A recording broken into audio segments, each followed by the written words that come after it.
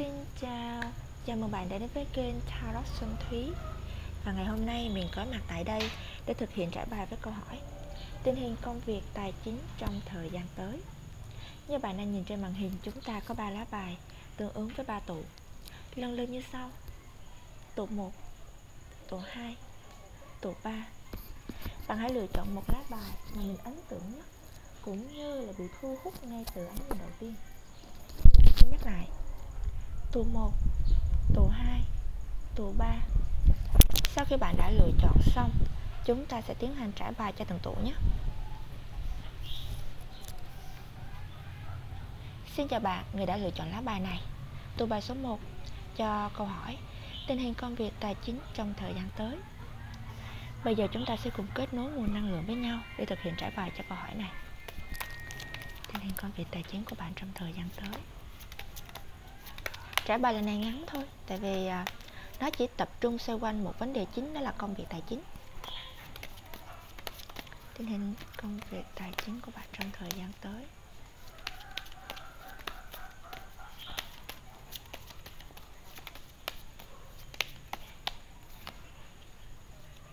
Ồ. Oh. Trời ơi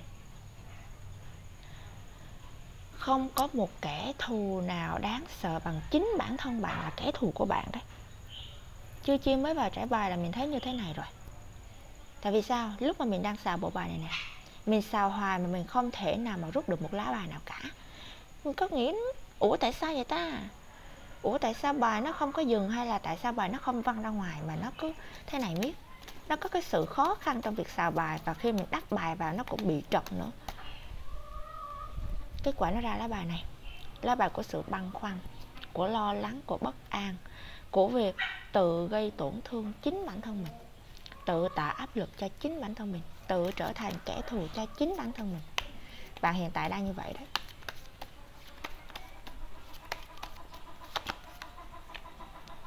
Đối với những người đã lựa chọn tụ bài số 1 Tình hình công việc tài chính của bạn trong thời gian tới sẽ có sự khởi sắc. Các bạn sẽ bước vào một lĩnh vực mới một công việc mới hay là một dự án mới nào đó. Nói chung là một cuộc hành trình mới. Và cuộc hành trình này hứa hẹn sẽ đem đến cho bạn nhiều điều vui lắm. Cơ bản nhất thôi, bạn sẽ là người làm chủ cuộc chơi này. Chẳng hạn, khi mà bạn đang làm trong một công ty, đúng không? Thì bạn sẽ được xếp giao cho một dự án nào đó và bạn sẽ là người trực tiếp làm cái dự án đó.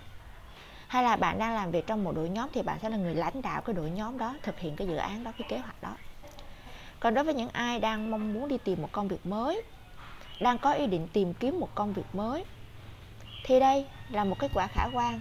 Bởi vì sao? Các bạn sẽ bước vào một cuộc hành trình mới nè, và cuộc hành trình này là cuộc hành trình mang tính chất chủ động. Bạn không phải là ngồi yên, há miệng chờ sung, hay là chờ đợi một cơ hội nào đó đến với cuộc sống của bạn. Hay là nhờ một ai đó, họ đến, họ đóng vai trò là một quý nhân, giúp đỡ bạn. Không, trong này không hề có lá bài liên quan đến quý nhân tất cả mọi thứ đều là do bạn cả. Có nghĩa là sao? Bạn chủ động đi tìm kiếm cơ hội, bạn chủ động thay đổi công việc, bạn chủ động lập ra kế hoạch để thực hiện một cái điều gì đó. Tất cả đều đến từ sự chủ động. Và ngay lá bài đại diện cho tụi bài số 1 là gì nào? Tự tin là chìa khóa của thành công. Điều này đại biểu cho cái gì? Ừ? bạn thấy màu vàng không? Sư tử màu vàng nè. Hai lá bài về sau cũng màu vàng nè. Chỉ có lá bài đầu tiên. Lá bài của sự phóng khoáng tự do. Nó vẫn chưa thể hiện được đáng lý bạn phải sải cánh bay lên bầu trời. Bạn thấy chuồn chuồn đúng không? Chuồn chuồn nó không bao giờ bay quá cao đâu. Người ta hay nói như thế nào? Chuồn chuồn bay cao thì nắng, bay thấp thì mưa, bay vừa thì râm. Nhưng mà bạn có bao giờ thấy chuồn chuồn bay tích trên trời cao chưa? Giống như những chú chim vậy đó. Chưa đúng không? Tại vì bạn chỉ thấy chuồn chuồn nó chỉ bay cao lắm là tầm tòa nhà một tầng, hai tầng gì đó thôi. Chứ bạn chưa bao giờ thấy chuồn chuồn bay trên bầu trời bởi vì bạn nghĩ rằng chuồn chuồn sẽ không thể nào bay trên bầu trời được. Nó không có đôi cánh mạnh mẽ như chim. Nó cũng không có năng lực dồi dào để có thể chống chọi với những cơn gió khắc nghiệt phía trên bầu trời cao kia. Chính vì những suy nghĩ của bạn bạn xem thường năng lực của bạn bạn xem thường khả năng của bạn bạn bó hẹp suy nghĩ của mình lại, không nhìn nhận mọi thứ dưới một góc nhìn rộng lớn hơn. Như vậy, nó sẽ dẫn đến điều gì nào bạn sẽ giới hạn cơ hội của bạn. Bạn sẽ giới hạn tài nguyên của bạn và ngay chính bản thân bạn đang là đối thủ của bạn, đang cản trở chính đôi chân của bạn đó.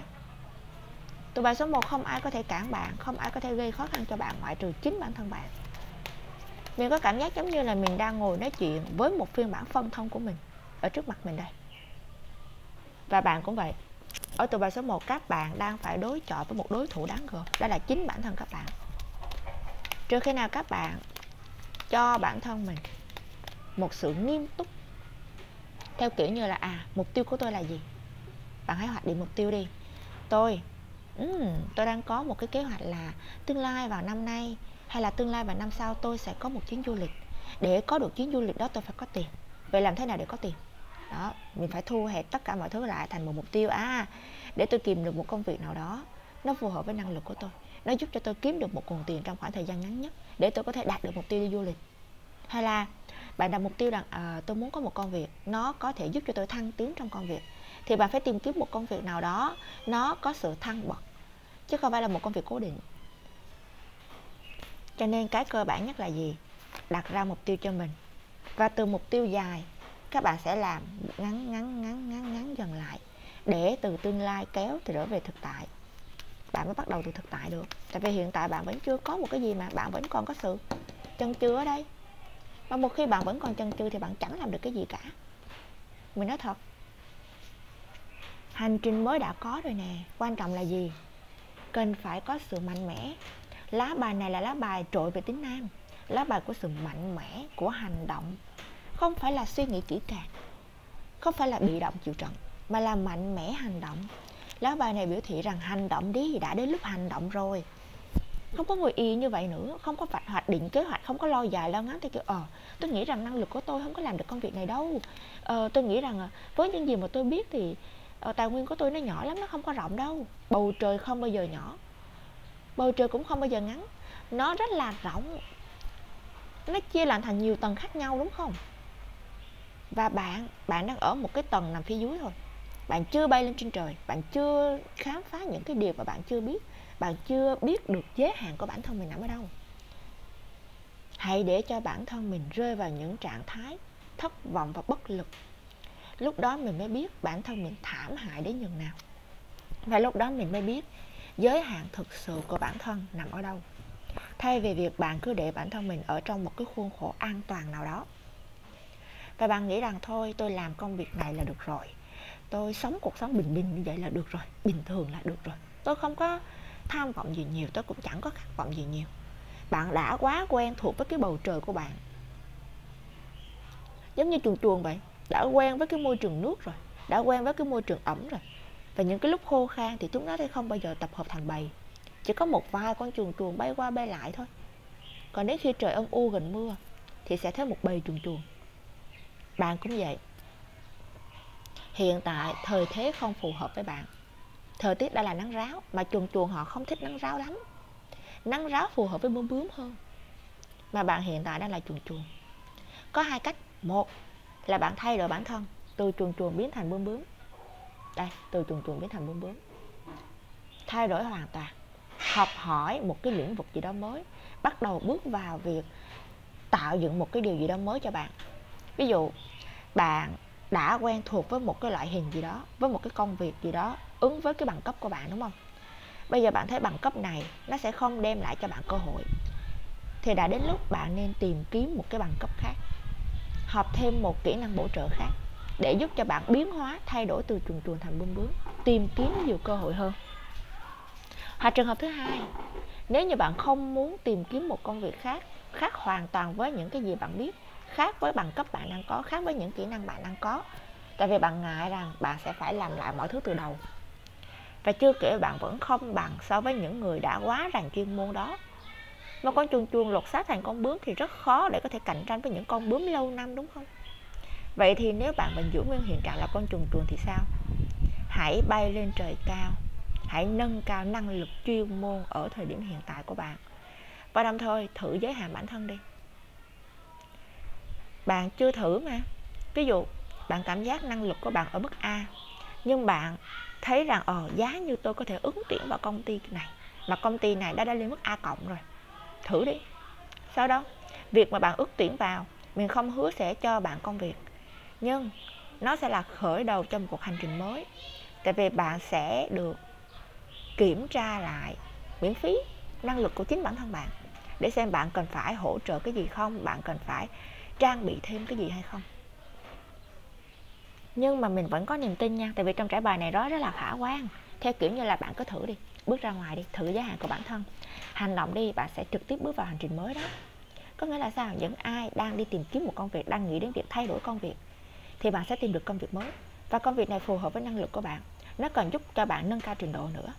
Còn những ai đang đi một cái lĩnh, đang đi và đang đi trong một cái định hướng nào đó đó và bạn cảm giác là nó không ổn bạn cảm giác rằng nó không ổn nhưng bạn không muốn có sự thay đổi, thì đã đến lúc bạn nên có sự thay đổi. Nếu như công việc ở thời điểm hiện tại, tình trạng hiện tại của bạn khiến cho bạn bị bế tắc và bạn muốn tìm một cái gì đó, ví dụ, công việc hiện tại khiến cho bạn không ưng ý, hiện tại bạn đang ở trong tình trạng thất nghiệp, chưa có công việc, thì đã đến lúc bạn nên có sự thay đổi. Hãy tìm cho mình một định hướng mới. Tại vì sao?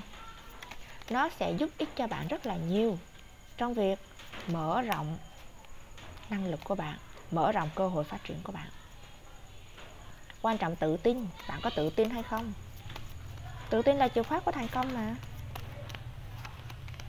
Đó, tình hình tài chính của bạn không mấy khả quan đâu, nếu như bạn còn chần chừ mãi, thì bạn sẽ không bao giờ đạt được mục tiêu của bạn.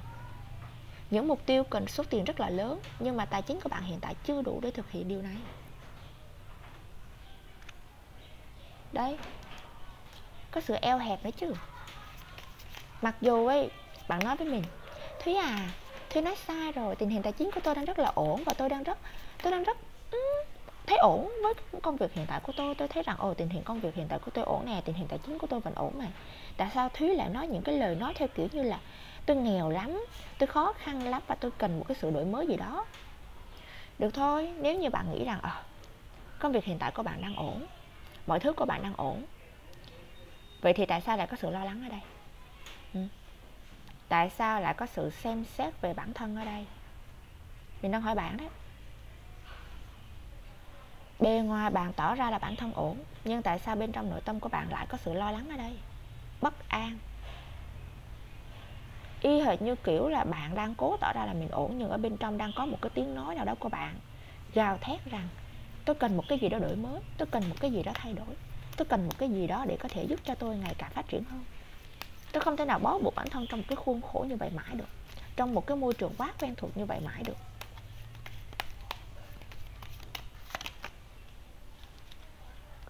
Đây, rõ ràng chưa? Nãy giờ mình trải bài là mình không có ý nói như thế này đâu. Có nghĩa là khi mà mình trải bài á, đã có rất là nhiều bướm bướm bay xung quanh mình. Và nó không bay theo kiểu hình tròn, nó bay ngang như thế này nè. E đó, một con rồi là hai con, rồi là ba con, nó bay ngang luôn mình nghĩ ủa tụi bài này nó, nó đâu có yếu tố gì về tâm linh đâu ta? Nó cũng chẳng có yếu tố gì liên quan đến việc là thay đổi nhận thức hay là thay đổi nguồn năng lượng gì đó. Nó chỉ có việc à, mình bước ra ngoài. Những ai đang đi tìm công việc thì sẽ có được công việc. Những ai cảm giác đang bị bế tắc trong công việc thì nên thay đổi cái định hướng nào đó. Nên có một sự thay đổi rõ rệt. Thì đây khi mà lật lá bài về sự di chuyển đó lại có bông bướm bay nữa kìa. Đây lá bài về sự di chuyển thì chính xác là vậy rồi nên thay đổi đi mọi người ơi. Khi mọi người đã lựa chọn tụ bài số 1 với thông điệp ngày hôm nay là gì nào tình hình công việc tài chính trong thời gian tới. Đã đến lúc bạn nên có sự thay đổi trong công việc của bạn. Thay đổi trong định hướng. Những ai cảm giác công việc hiện tại không còn đủ để đáp ứng nhu cầu của bạn nữa, nhu cầu về sự phát triển, thì mình khuyên thật lòng nên thay đổi công việc còn những ai đang chăm chỉ cho công việc. Và, và các bạn nghĩ rằng là à tôi không cần phải thay đổi công việc. Thì sắp tới sẽ có một kế hoạch một dự án đến với bạn. Và bạn sẽ phải nỗ lực rất là nhiều để thực hiện dự án này thực hiện kế hoạch này. Mong rằng điều này sẽ không khiến cho bạn nản lòng. Bởi vì sao? Đến cuối cùng bạn vẫn sẽ có sự di chuyển. Đây là dự báo. Nó không phải là sự chống đối hay là sự đối nghịch liên quan đến công việc hiện tại đang ổn định của bạn đối với những người họ đang có nhu cầu tìm kiếm công việc mới. Và các bạn, lựa chọn tụ bài số 1 thì đây là tin vui của các bạn. Nhưng ngược lại, khi các bạn ở tụ bài số 1 đã ổn định trong công việc rồi và các bạn không có ý định thay đổi công việc, thì đây sẽ là một tin không biết là vui hay buồn, tại vì các bạn vẫn sẽ có sự thay đổi trong công việc, sẽ có định hướng tìm kiếm một công việc mới, hay là các bạn sẽ thăng hạng lên một vị trí cao hơn. Mình không biết kết quả là cái gì nhưng lá bài này biểu thị cho sự thay đổi liên quan đến công việc. Có thể là chuyển công tác, thay đổi vị trí làm việc, hoặc là được bổ nhiệm lên một vị trí khác. Ừ. màu sắc lá bài tươi sáng. Màu sắc của sự tự do, màu sắc của sự bứt phá mạnh mẽ, thịnh vượng, phát đạt. Cho nên mình vẫn thấy, ồ tụi bà số 1 tinh thần vô cùng khả quan nha. Các bạn đừng có lo lắng gì cả. Chỉ cần thư giãn và nhớ tin tưởng vào năng lực của bạn. Tự tin chính là chìa khóa của thành công, đặc biệt là đối với bạn, những người đã lựa chọn tụ bài số 1 rồi, cho nên mình sẽ kết thúc trả bài của bạn tại đây đi, tại vì trả bài này ngắn mà. Mong rằng trả bài của mình sẽ giúp cho bạn tin vào bản thân mình hơn và đồng thời, đối với những ai đang trong quá trình tìm kiếm việc làm, chúc mừng bạn nhé, bạn sẽ tìm được vị trí công việc phù hợp. Nhưng nhớ nâng mức giới hạn của bản thân mình lên để thử xem rốt cuộc bản thân mình có thể chạm được bầu trời nào có thể bay lên hướng nào và có thể đi xa bao lâu. Hẹn gặp lại bạn ở những trò bài khác của mình trên kênh Tarot xanh Thúy. Còn bây giờ xin thân ái và chào tạm biệt.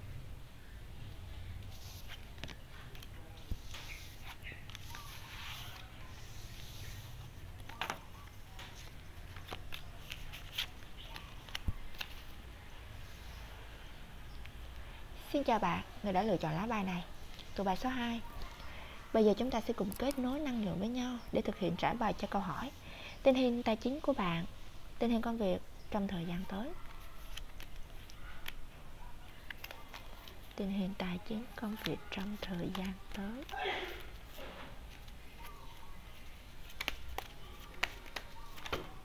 Ồ, oh, bài rơi. Nhưng mà nó rơi một nùi luôn chứ nó không rơi một hai lá đâu.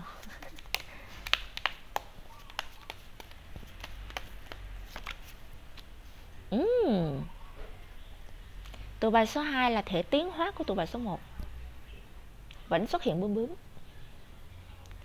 Bướm bướm màu vàng này nó xuất hiện xuyên suốt từ tụ bài số 1 đến tụ bài số 2 Nhưng hướng di chuyển của bướm bướm nó là khác nha. Nếu như tụ bài số 1 bướm bướm nó di chuyển theo chiều ngang Có nghĩa là nó đi, nó đi thôi, một đi không trở lại.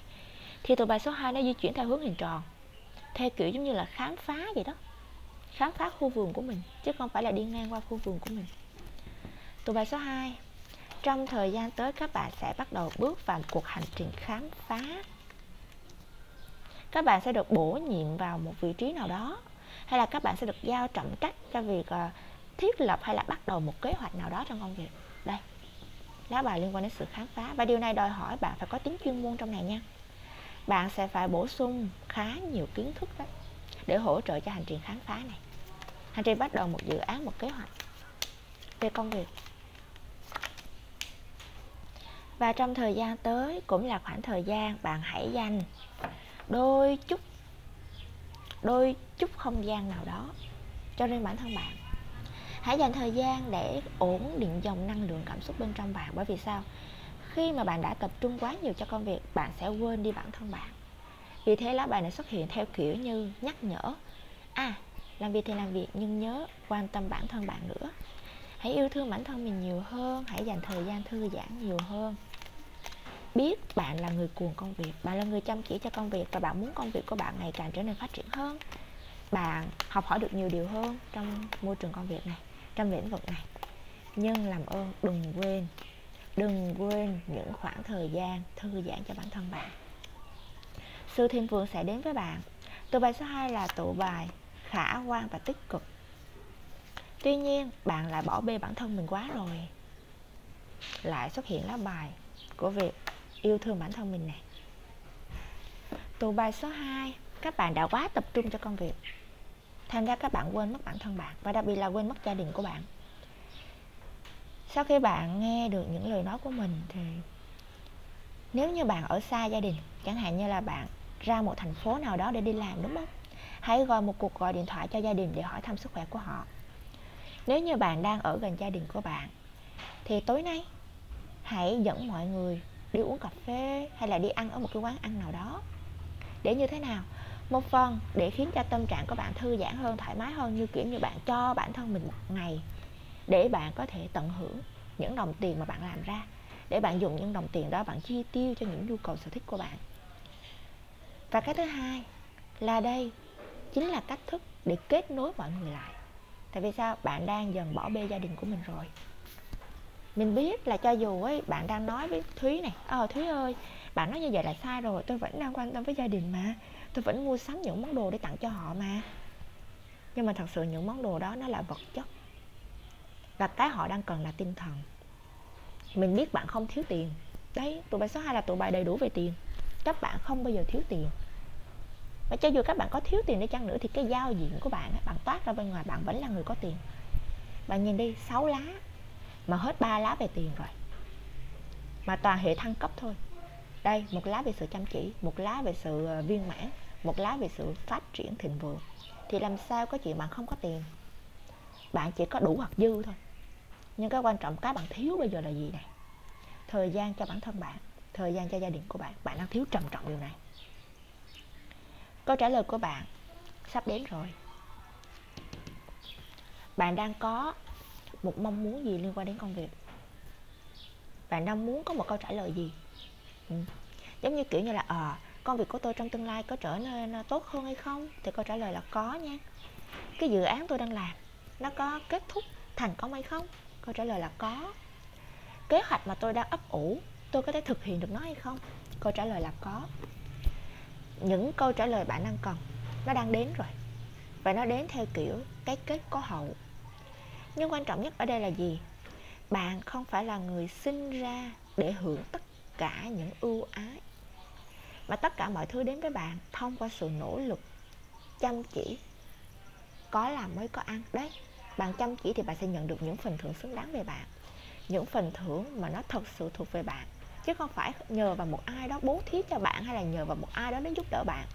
Tất cả đều đến từ sự nỗ lực của bạn. Bạn muốn có vị trí công việc đó bạn phải nỗ lực dành đấy. Bạn không thể nào nhờ vào mối quan hệ. Công việc hiện tại của bạn, công việc tương lai của bạn, định hướng hiện tại của bạn, kế hoạch tương lai của bạn, tất cả đều do bạn. Không một ai giúp đỡ bạn đâu. Mình nói thật ấy. Trong cái bài này không hề có sự giúp đỡ luôn. Không một ai giúp đỡ bạn cả ngoại trừ chính bản thân bạn. Vì vậy, hãy dành thời gian nhiều hơn và nỗ lực gấp trăm lần để có thể đạt được những điều mà bạn mong muốn ở tụ bài số 2 các bạn đang có một định hướng gì đó liên quan đến việc phát triển bản thân, đúng không? Đây là bài về việc khám phá một hành trình mới này. Nhìn ra bên ngoài, có nghĩa là hiện tại bạn đã có hai cây gậy rồi, có nghĩa là bạn đã có được những thành tựu nhất định trong công việc rồi. Nhưng mà bạn vẫn muốn nhìn ra bên ngoài, bạn vẫn muốn tìm kiếm một cái điều gì đó. Ví dụ như là một cái nghề tay trái, hay là một cái ờ, môn học, một cái kế hoạch, một cái hành trình khám phá gì đó bạn là người không ngừng học hỏi mà bạn không bao giờ để cho bản thân mình bị bó buộc trong một cái khuôn khổ quen thuộc hay là ở trong một cái phiên bản cũ rích nào đó. Đã khám phá rồi còn thích chăm chỉ nữa. Đây. Không bao giờ để cho bản thân mình cũ. Luôn luôn thay đổi bản thân, luôn luôn cải thiện bản thân theo hướng tốt đẹp hơn. Không bao giờ để cho tư duy của bạn lỗi thời. Bạn luôn luôn học hỏi, luôn luôn chăm chỉ, tiếp thu nhiều kiến thức như vậy thì làm sao bạn không thịnh vượng cho được? Một người không bao giờ để cho bản thân mình bị lạc hậu thì không có chuyện các bạn bị để lại phía sau đâu. Các bạn chỉ có ngày càng phát triển mà thôi. Nhưng đừng tập trung quá nhiều cho tiền bạc công việc. Bạn đã bị tập trung quá nhiều về vấn đề tiền bạc công việc vật chất rồi. Bạn đang thiên về giá trị vật chất và bạn bỏ bê giá trị tinh thần của bạn. Và đặc biệt là gia đình của bạn. Bố mẹ bạn anh chị em của bạn người yêu của bạn vợ chồng của bạn con cái của bạn. Bạn đã bỏ bê điều này bạn đã tập trung cho bản thân quá nhiều. Vì vậy những ai đang xem tụi bài số 2 thì mình vẫn nhắc đi nhắc lại là các bạn hãy tốt nhất là ngay bây giờ đi. Sau khi coi video của mình gọi một cuộc điện thoại cho bố mẹ của bạn và một cuộc điện thoại cho anh chị em của bạn chỉ cần hỏi thăm sức khỏe của họ thôi. Hỏi thăm dạo gần đây họ như thế nào. Hay là bạn hãy uh, tối nay vào buổi tối bạn dẫn mọi người đi ăn gì đó đi trò chuyện, đi quán cà phê nào đó để nói chuyện. Sẽ rất là vui vẻ đấy và còn khiến cho bạn hiểu mọi người nhiều hơn, mọi người sẽ gắn kết với nhau chặt chẽ hơn. Và ngay chính bản thân bạn bạn vẫn còn nhận được giá trị tốt đẹp hơn rất là nhiều so với những gì bạn bỏ ra. Tại vì sao? Cái mà bạn nhận được nó là giá trị tinh thần. Mà đã là giá trị tinh thần thì nó không có đại biểu cho một mức định lượng cụ thể nào cả. Nó giống như là dòng sông vậy suối chảy về sông sông đổ ra biển. Nó không bao giờ đo lường được. Tại vì sao? Tại vì thời gian sẽ là thứ hoàn hảo nhất để chứng minh tất cả. Chứng minh cho sự thành công của bạn, chứng minh cho những kế hoạch dự định tương lai của bạn, chứng minh cho giá trị tinh thần của bạn, chứng minh cho sự gắn kết của những mối quan hệ xung quanh bạn. Từ bài số 2 không khí rất là tuyệt vời nha. Có gió, có chim hót có bướm bay, có nắng nữa. Tụ bài số 1 không khí nó ảm đạm hơn. Nhưng mà tụ bài số 2 nó là thể tiến hóa của tụ bài số 1 nó có sự tươi trẻ ở đây, nó có sự mạnh mẽ bứt phá. Một ánh dương sáng chói, hướng mọi người đến một giá trị tốt đẹp. Cho nên, nếu mà nói tổng quan lại tình hình công việc của các bạn. Oh. tình hình tổng quan, tình hình công việc tài chính của bạn thì tốt, ổn định và ngày càng thịnh vượng, phát triển hơn các bạn sẽ có cơ hội khám phá một cuộc hành trình mới. Nhưng mà bạn cần phải dành thời gian nhiều hơn cho gia đình của mình. Và đặc biệt nếu như bạn đang có định hướng gì đó về một kế hoạch phát triển kinh doanh, một kế hoạch, một dự định nào đó liên quan đến công việc của bạn, thì làm ơn, hãy học thêm nhiều kiến thức mới. Nó sẽ hỗ trợ bạn rất nhiều trong tương lai đấy, đặc biệt là trong công việc của bạn. Những điều mà bạn đang muốn nghe sắp đến với bạn rồi. Những kết quả về công việc cũng sắp đến với bạn rồi. Ừ. đó là tất cả những gì mình muốn gửi đến bạn, những người đã lựa chọn từ bài số 2 mong rằng trả bài này của mình sẽ khiến cho bạn ngày càng nỗ lực hơn trong công việc và dành thời gian yêu thương bản thân mình nhiều hơn. Màu xanh dương, màu của sự tự do. Hãy dành thời gian cho những phút giây thư giãn. Mình sẽ kết thúc trả bài của bạn tại đây nhé. Hẹn gặp lại bạn ở những trả bài khác của mình trên kênh Tarot Xuân Thúy còn bây giờ xin thân ái và chào tạm biệt.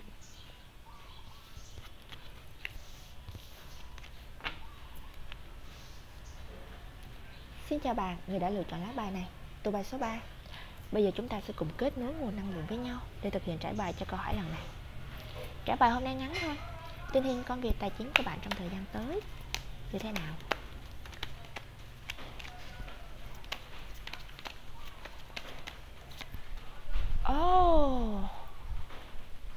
Sự thăng tiến rõ rệt từ tụ 1 đến tụ 3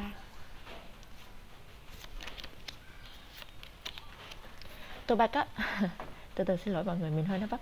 Tuổi bài số 3 các bạn đã có sự ổn định liên quan đến công việc của bạn rồi. Bạn đã có một công việc mà bạn cảm thấy hài lòng. Bạn cũng đang vô cùng tận hưởng với hành trình của bạn. Trạng thái tinh thần cảm xúc của bạn hiện tại đang ổn. Nó chỉ có một chút khó khăn ở đây này đó là tại sao lại có sự tiếc nuối ở đây? Kiểu như là để có được hành trình này, để có sự ổn định trong cảm xúc, trong tâm trạng của bạn, trong tinh thần của bạn, thì bạn đã phải bỏ đi rất là nhiều mối quan hệ không cần thiết. Tụ bài số 3 là tụ bài trưởng thành. Có một con ong mật nó đang bu ngay chân của mình. Mà các bạn biết mà, ong mật thì nó đâu có chích người đâu, đúng không? Nó chỉ có bu bu vậy thôi, cho nên mình cũng hoan hỉ mình cứ để nó bu như thế này đây. Loài ong là loài động vật tượng trưng cho sự chăm chỉ, cần mẫn, chịu thương chịu khó. Bạn cũng vậy, bạn là người chịu thương chịu khó, chăm chỉ nỗ lực để đạt được những gì ở thời điểm hiện tại. Công việc mà bạn đang làm là công việc có dấu ấn của riêng bạn. Bạn không thể nào tìm kiếm một công việc mà nó không thể hiện giá trị của bạn theo kiểu như là bạn không toàn tâm toàn ý cho nó, bạn không tận hưởng nó, bạn không đam mê với nó. Công việc phù hợp với bạn phải là công việc do chính bản thân bạn tạo ra. Và bạn lưu lại mùi hương trên công việc đó. Nếu như công việc đó là một chiếc áo, thì chiếc áo đó sẽ có mùi hương của bạn. Nếu như công việc đó là một ngôi nhà, thì ngôi nhà đó sẽ có bóng dáng của bạn bạn không thể nào tìm kiếm một công việc hay là tạm thời làm một công việc nào đó mang tính chất tạm bợ. Và đó, và cái công việc đó nó không giúp cho bạn thể hiện giá trị con người của bạn. Nó không khiến cho bạn sống thật với con người của bạn. Bạn sẽ rời đi. Bạn không có tiếc nuối với những công việc trói buộc bạn đâu. Tại vì sao? Bạn nhìn đi, tiền bạc đâu phải là vấn đề quan trọng, là bạn phải cảm thấy hạnh phúc với hành trình của bạn và bạn nhận ra được những bài học những giá trị phù hợp đến với bạn khi mà bạn đón nhận công việc này khi mà bạn đi theo một cái định hướng một cái kế hoạch này. Như mình hồi nãy mình nói trời ơi tụ bài số 3 là tụ bài có sự ổn định về mặt tài chính công việc rồi. Cho nên bây giờ bạn có nói rằng ở ờ, thúy ơi công việc của tôi trong tương lai như thế nào? Vẫn ổn nha mọi người ổn định và phát triển. Đây bạn vẫn sẽ có được nguồn thu nhập vô cùng khả quan về công việc của bạn. Cho dù thời điểm hiện tại bạn kêu ờ thuyết nói sai rồi, công việc của tôi hiện tại nó đang khó khăn lắm. Nó chưa đem lại cho tôi một nguồn tài chính nào cả. Tôi đang cảm giác bất an về công việc của tôi nè. Thì làm sao có thể được? Đấy. tinh thần của tụi bài số 3 nó đã thể hiện luôn rồi. Tin vào những điều không thể. Như bạn thấy không? Hồi nãy con ong nó bu vô chân mình đó nếu như nó là một con ong bắp cày đi. Trời ơi, con ong bắp cày thì thôi rồi luôn. Nó chích cái chân mình sưng vù. Nhưng đây là con ong mật. Mặc dù nó rất là nhỏ bé, nó nhỏ chắc bằng con ruồi thôi. Nhưng mà con ong mật nó vô cùng chăm chỉ. Để nó tích thành một cái tổ ong đầy mật ngọt. Thì bạn cũng vậy. Bạn cứ cho rằng ờ công việc hiện tại của tôi nó không có ổn đâu, nó đang bấp bênh lắm. Vậy giờ tương lai như thế nào? Tương lai sẽ ổn chứ làm sao nữa? Lớp bài nó đã thể hiện rõ rành rành thế này mà, cho nên bạn cứ yên tâm. Những ai đang ổn định về công việc thì công việc của bạn sẽ ngày càng phát triển hơn, theo kiểu chậm mà chắc. Nha tụi bài số 3 đừng có mong theo kiểu một phát ăn may hay là một phát tỏa sáng rực rỡ. Bạn có phải là pháo hoa đâu. Pháo hoa sớm nở tối tàn mà. Lé trên bầu trời một hai phút là tắt liệm luôn. Còn bạn bạn là cây cổ thụ.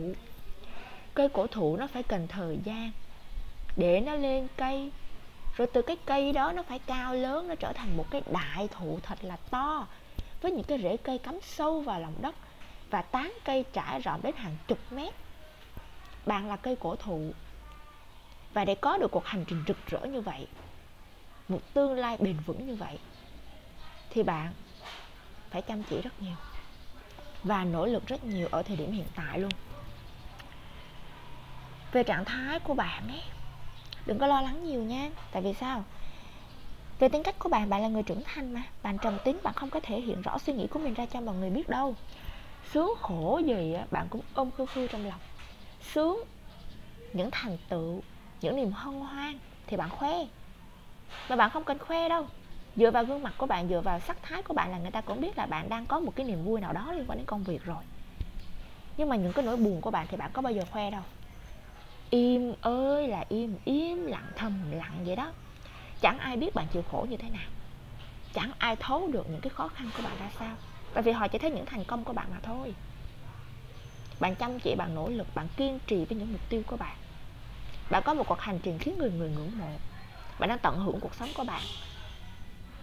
Bạn trở nên trưởng thành hơn. Trưởng thành từ bề ngoài, trưởng thành bên trong nhận thức của bạn. Nhưng về việc chia sẻ suy nghĩ của mình với người khác bạn vẫn cần phải cải thiện. Tại vì sao? Bạn lý trí quá. Đây. Bạn quá lý trí.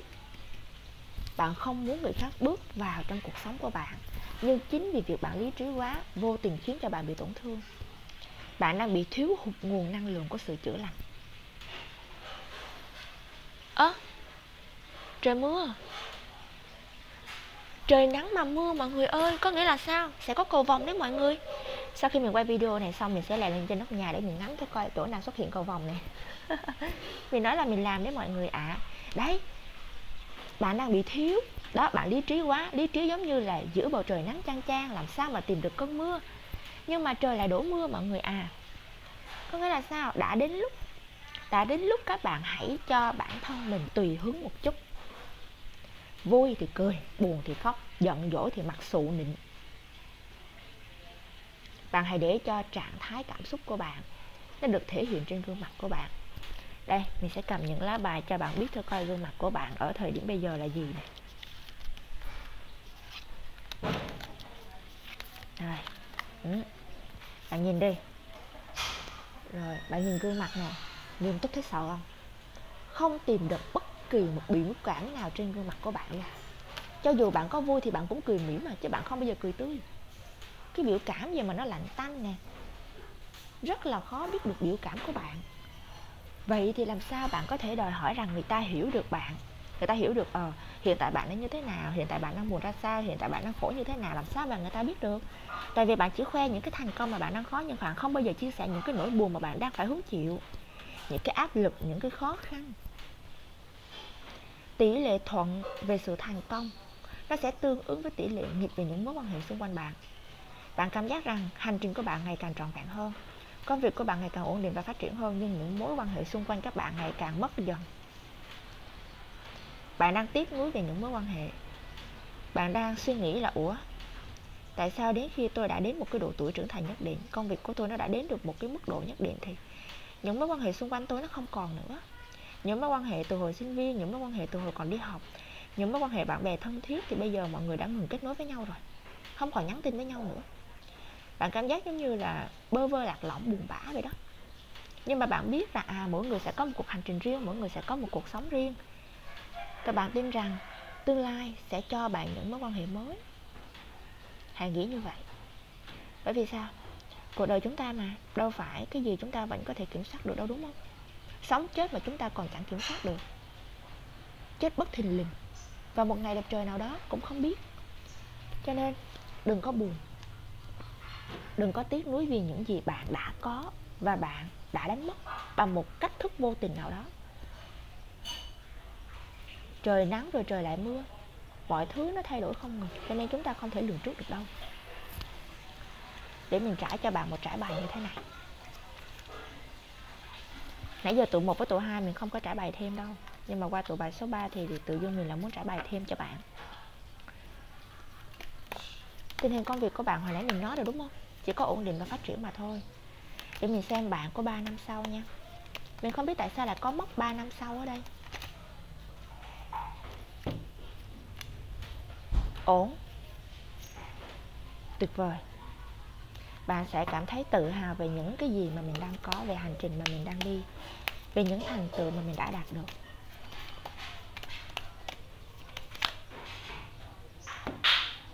Mặc dù nó sẽ khiến cho bạn hơi buồn, theo kiểu như là bạn không còn vui vẻ như trước, bạn không còn hồn nhiên như trước.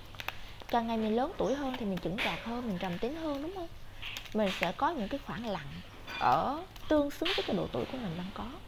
Chẳng hạn như là bạn 25 tuổi thì bạn sẽ có trạng thái tinh thần của một người 25 tuổi. Bạn 40 tuổi thì bạn sẽ có trạng thái nhận thức của một người 40 tuổi. Kiểu như là những người trải đời dầm mưa dãi nắng vậy đó. Thì chúng ta sẽ không còn giữ được những cái nét hồn nhiên như là độ tuổi 15, 18 được. Trong lòng mình nó đang có một cảm xúc nó nó trầm xuống. Bạn thấy ngữ điệu giọng nói của mình cũng vậy đúng không? Nó trầm xuống, nó kiểu như là không muốn nói nhiều. Ừ. ngẫm nghĩ về cuộc đời thôi. Chứ bây giờ nói là không còn gì để nói nữa, kiểu vậy. Tinh thần gì mà xấu thế mọi người? Tụi bài số 3 tinh thần xấu thế.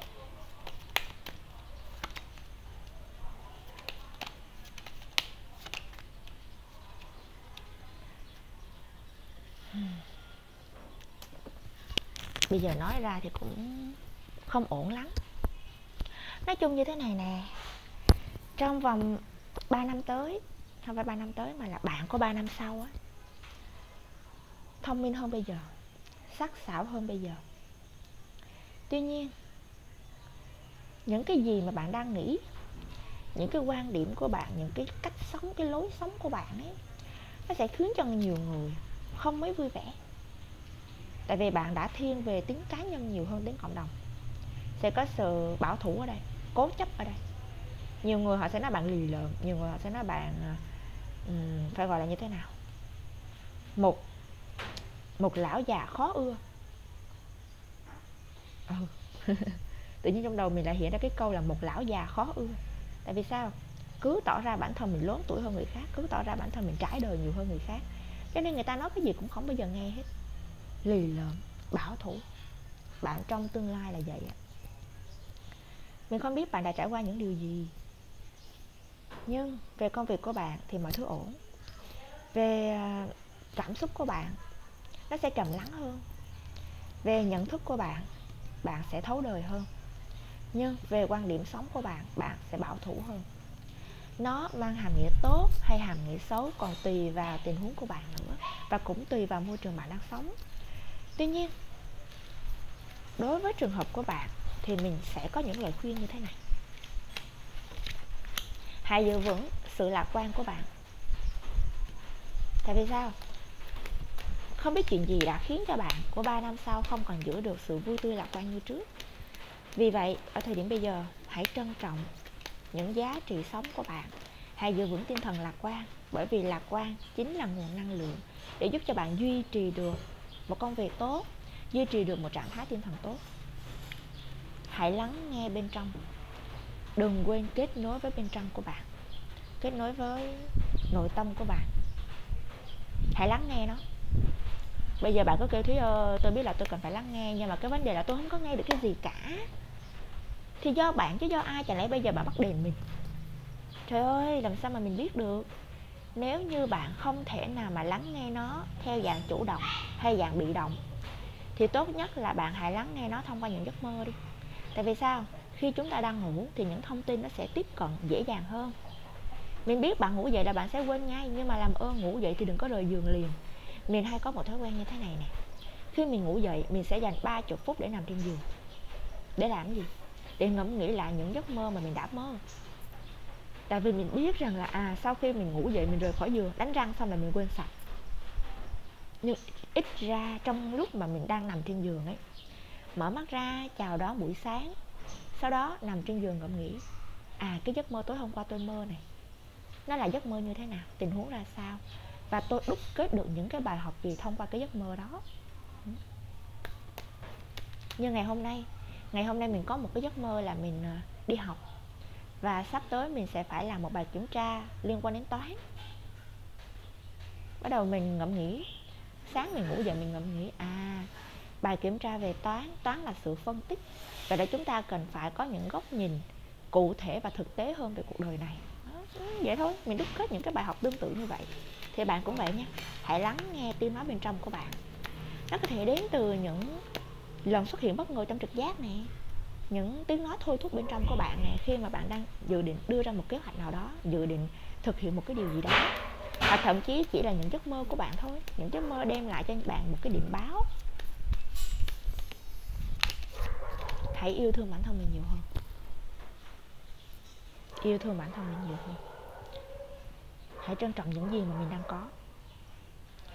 Đó là ba lời khuyên dành cho bạn ở thời điểm ngay bây giờ đấy giữ vững tinh thần lạc quan lắng nghe tiếng nói bên trong dành thời gian yêu thương bản thân mình nhiều hơn. Tự nhiên cảm xúc của mình nó hơi trầm xuống ha. Tụ bài số 3 khiến cho mình có trạng thái tinh thần trầm xuống một chút kiểu trải đời nhiều ấy. Xong rồi cảm giác như là có một số thứ mình không thể nào nói ra bằng lời nói được. Mình thế, mình chỉ có thể giữ trong lòng mà thôi mình chỉ có thể thầm chiêm nghiệm mọi thứ với một góc nhìn của một người trải đời. Ừ. à, buồn quá. Ai, sẵn năng lượng ra nào wow. rồi. Chắc là mình sẽ kết thúc trả bài của bạn tại đây nha. Hẹn gặp lại bạn ở những trả bài khác của mình trên kênh Tarot Trần Thí. mong rằng bạn của hiện tại vẫn sẽ là một người có suy nghĩ tích cực lạc quan yêu thương bản thân mình. Và bạn của tương lai đừng trở thành lão già khó ưa nhé. Hẹn gặp lại bạn ở những trả bài khác của mình trên kênh Tarot Trần Thúy còn bây giờ xin thân ái và chào tạm biệt.